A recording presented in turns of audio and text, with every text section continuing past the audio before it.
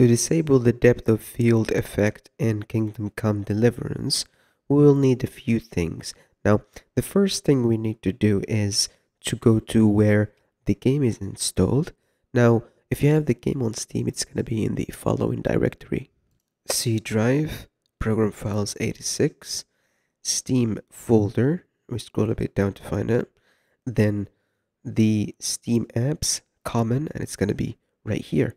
But for me, I have the game installed elsewhere. So make sure to find where the game is installed for you, and then go to the engine folder here. Now the file we need is going to be this engine file. So we make a backup folder right here to store it.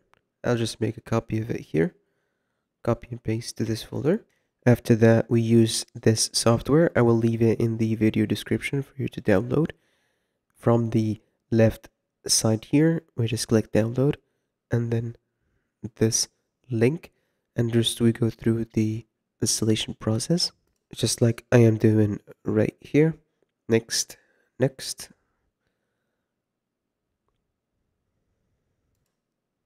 And okay, we close this browser here then we open the software. We just click 3 on the keyboard to skip that pop-up. We click on OK to dismiss this window. OK on this one as well. After that, we select the drive we have the game installed in. If it's C, we just keep it on C. But for me, I have it installed elsewhere, so I'll pick it from here. Go to the same directory as before. Then engine, then engine file.